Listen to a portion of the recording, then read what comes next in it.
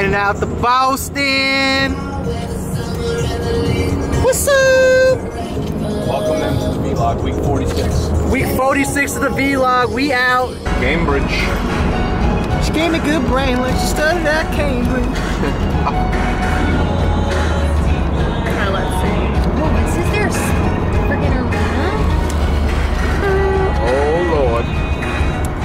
We're not Kansas anymore, I'll tell you that. Going back to Boston. Who's here? Young God. No, Emerson here, y'all. Yeah, we made it. Close the door. Yeah, we made it. Emerson here, y'all. First we made you who we are, but then we made it. Oh, that's not a good view. Do you think we can get back out? Oh yeah. There's a balcony we can get out. We got one big king size bed. Sam was pooping in the bait room already. Got a cute little living room. Sunlight. Oh, dude, there's no blinds in here. You're gonna be up at like 5 o'clock in the mo. Oh my god. So, dude, Let them know. It's nice, right? how deep are we rolling right now? 40 deep. Phone deep. Don't fuck around. Let's go. She asked if we were getting nine of them today.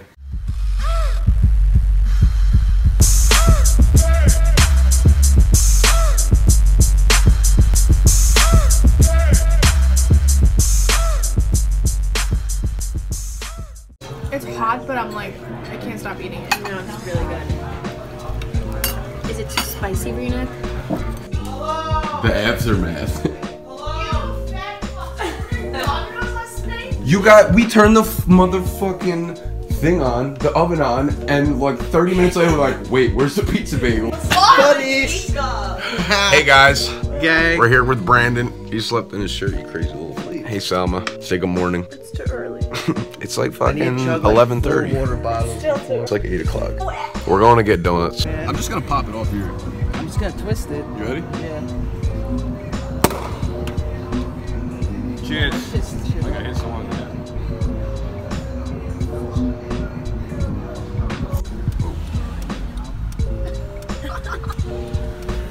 I need help.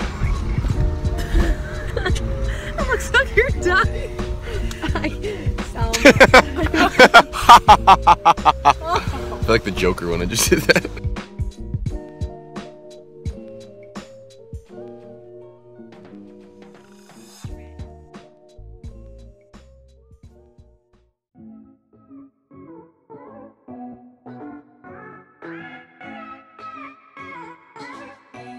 yeah, penguins can't breathe underwater. Really?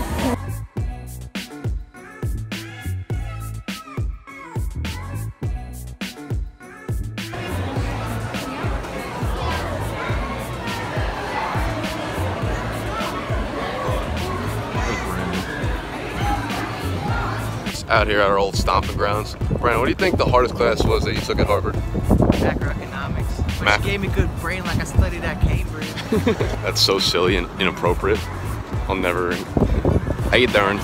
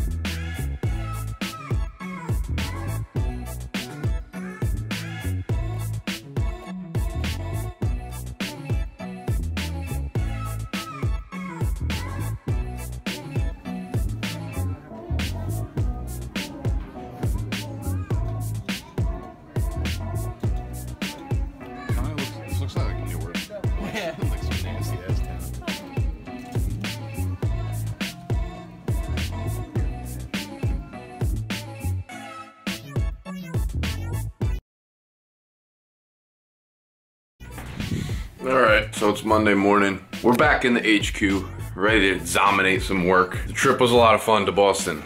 Very, very fun. It was me, Brandon, Alyssa, and Selma. Shout out y'all for making the trip fun. I didn't have my computer. Well, I had my computer, but the Wi-Fi in our Airbnb didn't work at all. I didn't do any work this weekend, which felt nice, but it's not gonna be fun opening up my laptop right now. I feel like absolute shit from just drinking and eating. I just feel super bloated and like. So first things first, I need to hit the gym. First things first on the realist. Remember Iggy Azalea? She was a thing one time. So yeah, I'm gonna hit the gym right now. I'm gonna get coffee. I don't even wanna look at my credit card from this weekend. A couple cool things. One, the campaign for the real estate company is kicking off either Tuesday or Wednesday whenever I finish mocking up all the advertisements. Then that thing is gonna start running live. Money's flooding into those bad boys. I'm also getting on a call with someone from Google tomorrow. Yes, Googly, like the search engine Google. Someone from Google reached out to me. They said they're on a special team there that gets in touch with potential high growth um, partners, I guess, something like that. I'm not really sure what the call is about, to be honest with you, but it's pretty cool because it's Google, so I'm gonna get after it.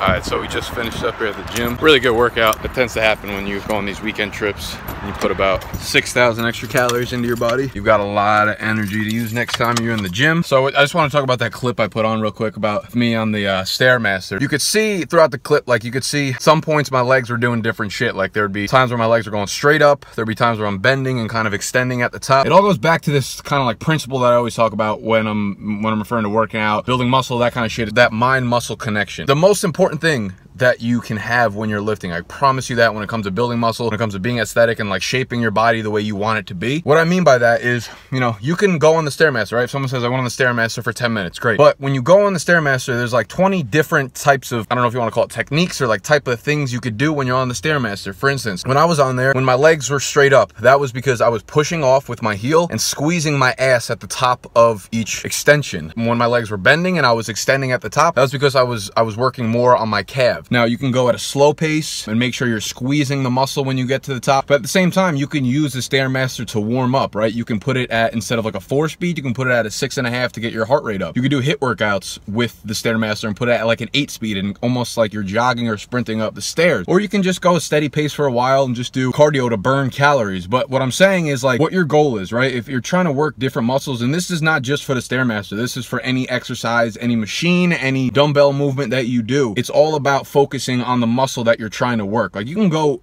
and this is a problem you see with so many people that work out. They go through the motions of exercises so carelessly. So when they're doing a row or when they're doing bench press or something, they're not focusing on the muscle that they're working. And you see them kind of stay stagnant at the same weight for so long because they're not pushing the muscle that they're trying to build. If you're doing rows and you're not hitting the bottom, hitting your chest when you're bringing it down or something, I'm talking about like lat rows, or if you're not focusing on using your lats underneath here, like you're never to build that muscle and you're never to be able to break down the muscle tissue. So if I can give you one piece of advice, it's really focus on the muscle that you're trying to build. And when you're doing exercise, know going into it, you don't need to know before you get to the gym, but know right before you start the exercise what muscle you're trying to work. For instance, if you're trying to build your ass, yeah, the Stairmaster can work, but you got to make sure you're squeezing your ass at the top of each rep. It's not just going to work it for you. You will build big legs by going on the Stairmaster and it will work your quads, but there are a lot of times when you can focus on different muscles when you're doing things. And it's these slight little tweaks in all these exercises you do that help you get a more aesthetic looking body and help you build the muscles that you're looking to build. That makes sense, right? You could do shoulder raises, like lateral shoulder raises. And the difference between standing straight up and going like this is you're gonna work the front and the side more. All you do is dip down 15 degrees and boom, now you're working more of the side and the back of your shoulder. And that makes you more aesthetic looking. It's these little tweaks and these little details that you really gotta focus on when you're doing these workouts. So, that's that Monday morning workout in the books. Time to take a business pill and get to work. All right, so we're in the kitchen cooking up after the gym, and I just wanted to kind of talk about some nutritional things because something I get asked about like semi often about diet and a lot of the world today makes that shit super complicated and no one knows how to properly eat healthy or eat for a better body and things like that. So quickly, I just want to go over it because I swear to God, it is not complicated whatsoever. But there's a lot of money in telling people that it is complicated. Thus, all these supplement companies and all these marketing avenues exist for these people that sell you bullshit. But I promise you, it's not that difficult.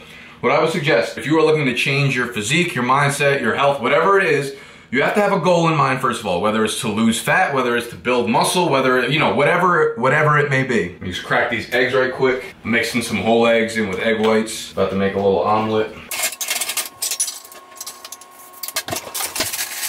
I'm gonna throw some sausage and peppers and onions on this thing, or peppers and onions, not sausage. If you have a Trader Joe's by you, I highly suggest getting these fire roasted bell peppers and onions mixed. Throw it on the skillet for like 10 minutes, let it darken up, let it burn up a little bit, and they taste mwah. Mm-hmm.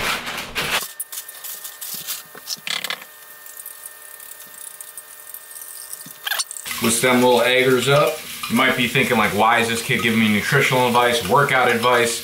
Normally people don't like to take advice from people unless they look like fucking meatheads. And to be honest with you, I could look like that if I want to do. All you have to do is eat like a fat fuck and then diet down a little bit. But I would take my body type over someone who's an extra 40 pounds of muscle any day of the week.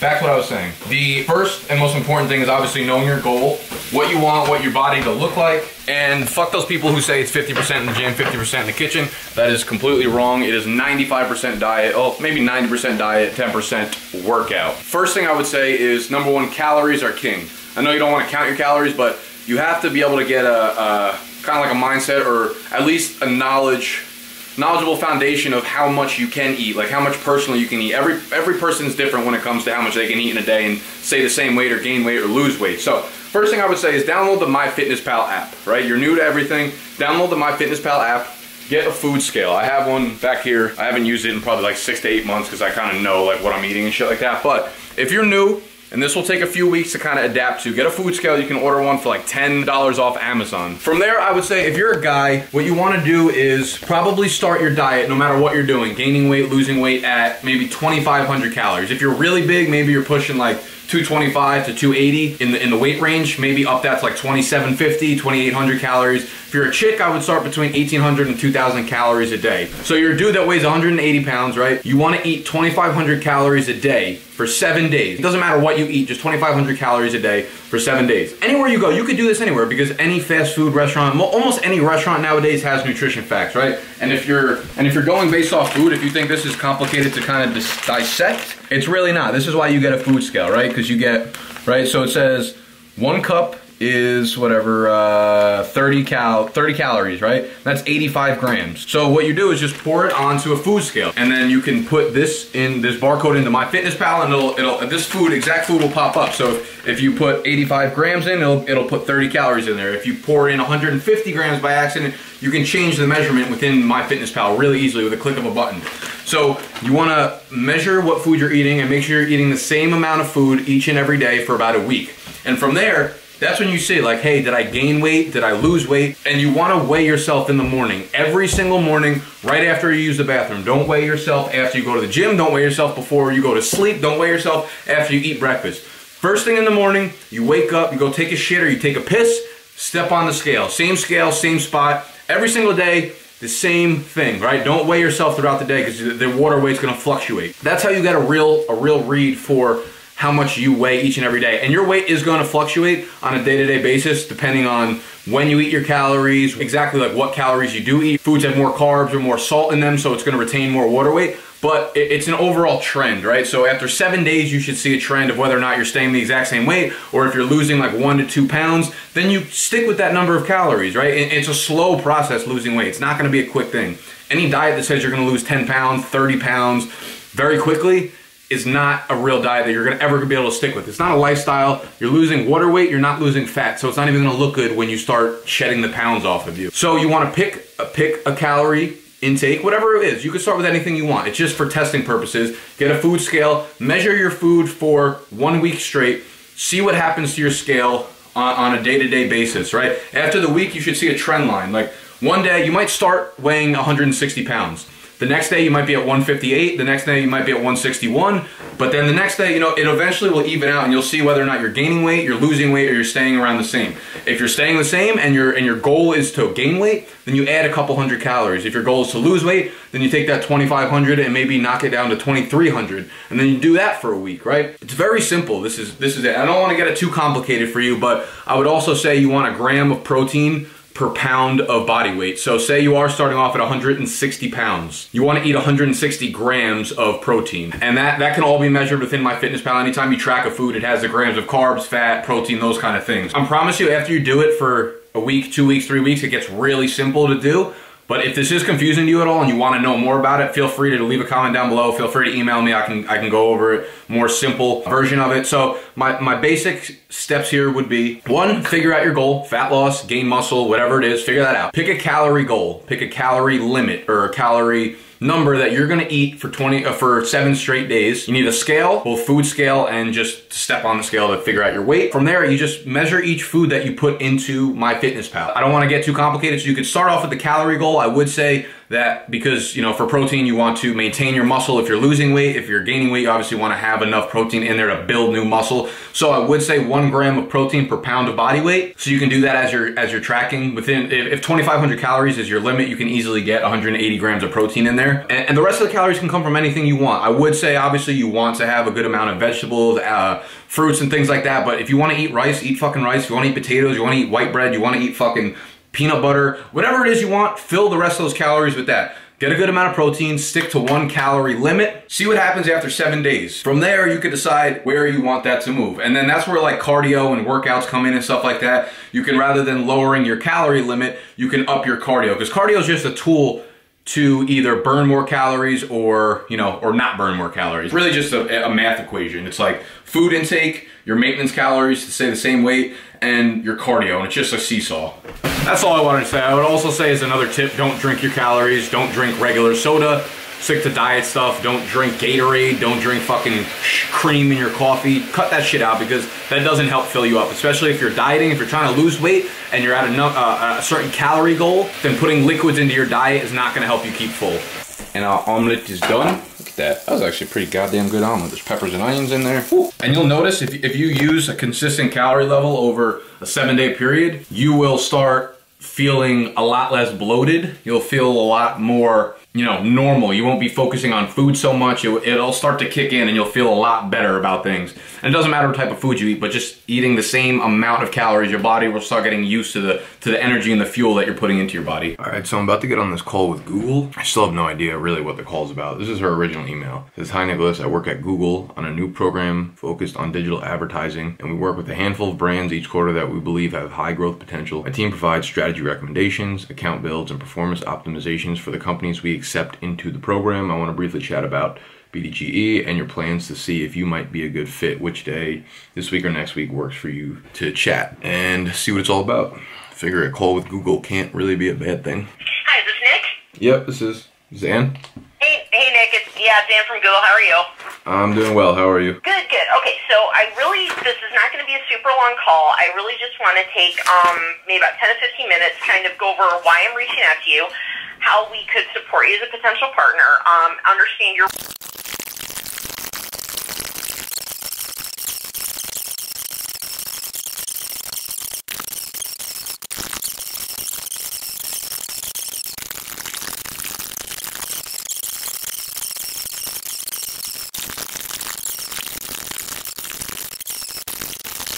Yeah, perfect. All right. Thanks, Ann. Appreciate the time. Thanks, Nick. Okay, bye-bye.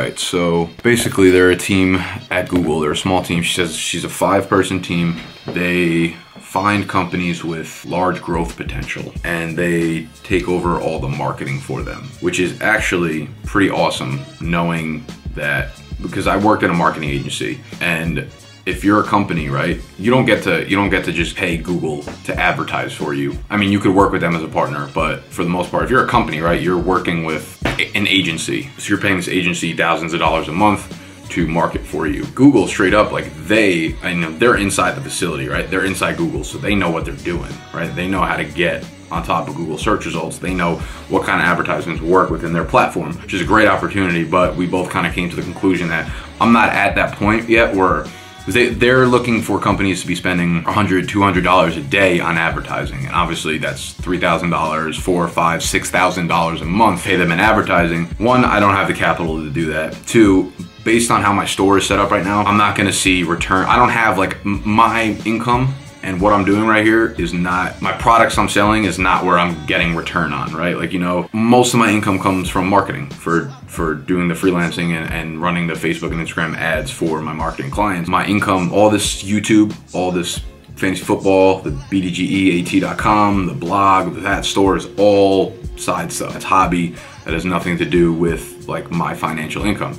I do, however, see that as a long-term play. But for right now, I'm growing it up slowly, organically, and I don't want to put paid money, I don't want to put money into paid traffic to try to build it up because I don't think I'm there yet. I don't think I need it based on how quickly my channel grew this summer, I expect it to exponentially grow again next summer and the summer after that. So I don't need to really put paid marketing because the organic growth, as long as I keep working hard, putting out good content and bringing in new people organically, I'm not gonna need to pay for marketing. So we decided that like, you know, when, when I have more products in the store, when it would be beneficial for me to be driving thousands of more people to my website or to my YouTube channel or whatever. And the cool thing about this is, you know, when you have the straight up partnership with Google, not only are they gonna hook you up with SEO, right? Getting you on top of the Google search rankings, but they also own YouTube, right? Which is good for me because I need, those are the two keys for my fantasy football thing right now, right? Fantasy football is all about people searching for your shit. So Google is huge, but I can't get on, like my blog will never get on the first, second, third page because you're competing with ESPN, you're competing with Fantasy Pros, you're competing with Yahoo, right? So my shit is never gonna get up there. However, if I'm partnered with them, they could obviously take that over and, and get me higher search rankings and I'll get a lot more traffic through SEO. But right now, all my traffic is basically through YouTube and me like influencer marketing myself and telling you, hey, if you wanna go check out my blog, go to the site. So all my traffic comes from that. The other thing obviously is, like I said, they own YouTube, so they'll definitely be able to drive more traffic to it. And they take over all the marketing, they create all the ads and all that kind of stuff. Definitely something I will consider in the future when I feel like it will be beneficial. Because right now, it, what if we send a, a couple thousand people to my website, right? They're gonna go to my store. They don't have, they have no idea what my logo stands for. They have no idea like why, like why the fuck would they buy a sweatshirt? And the only other thing that really sold on my website was the was the draft guide that I sold for like five dollars a pop. But all of the sales I get on my site are from organic traffic, basically from YouTube. It's like people who fuck with my channel, people who support me, buy my sweatshirts, buy my t-shirts, things like that, and the people that know me from YouTube buy my draft guide. You would never just stumble across a random website and buy a t-shirt or buy a draft guide. So that's where I feel like I need to get more of a foundation before I think I need to pay for marketing. I need to have more solid products before I send someone to a product page and think that they're actually gonna buy. So I can give them $100 a day and they might be bringing me 5,000, 10,000 new customers or potential customers to my store, but the ROI is not gonna be good. I'm not gonna get a lot of money from those people because they have no idea who I am to begin with. That's really where that's at. Headed to the movies. Big, big fucking bro day today. Baby Steam. Savage 21. 21 Savage. Going to see Maze Runner. I personally think Maze Runner is one of the most underrated movies of our generation. Generation. I don't know why it doesn't get the respect. People Nah, because Hunger Games got all the madness. That's what I'm saying. Hunger Actually, I fuck with Hunger thoroughly Games. overrated. It's like a poor man's Hunger Games. I don't think- in reality, I it's a rich man's Hunger Games. Wow. Love that. it's really, I thought Hunger Games were overrated. I didn't want to see the last one. The I don't last think it was, one was oh, bad. The last couple of ones were bad. I disagree. I enjoyed. two- I enjoyed them. The first two were Enjoyed good. the first, I read all the books. Did you? Did I say that out Nerd. loud? Nerd. My bad. Who What's a, what's a book? What's up, You been in the- You guys an extra pig? Dude, he's What? weird. He's weird. Can you see it? Oh wait, you can see it from here. Six fingers. He looks like Peter Pettigrew from Harry Potter. Who the fuck is that? Uh, YouTube it. Check it out. I'm not. How are you gonna talk to shit about Hunger Games yet you're a fucking Oh, Harry okay. Potter, Lord of the Rings, Maze Runner, fucking fiend? I'm a huge Maze Runner fan. But you can't be shitting on Hunger Games. I'm shitting on it. They you, could- you even agreed. They could all You be good. They could all be good. You agreed that Maze, um, Hunger Games last two were pretty bad. The last one. I just mean. Then, so But the first one was epic. I didn't say it wasn't. I said they're just overrated. He lying. If you ever buy snacks and food at the movie theater, you a punk bitch. You gotta come in strapped. We got M&M, Monster, got gummies, dollar a piece. Just hope they don't catch you. It'll be a felony if they caught me. That is going to wrap up this week's video. Show the Maze Runner 3. Sucked. Horrible. I'm devastated because huge fan of the Maze Runner series as a whole gorgeous. This last one was terrible. Just stupid action the entire time, but it wasn't good. I mean, I guess if you've seen the first two, go see the third one, because why not? It's really long. It was like two and a half hours, but it was kind of fun because we had the entire theater to ourselves. We were just kind of screaming. And Steve kept throwing fucking milk duds everywhere. That's neither here nor there. So I'm just working from my bed today, basically. And uh, if you enjoyed the video, give it a thumbs up. If you're new to the channel, subscribe, and I'll be back next Saturday. Till then. Deuces.